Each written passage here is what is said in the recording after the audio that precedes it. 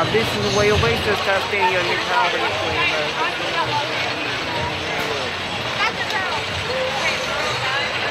Here we go.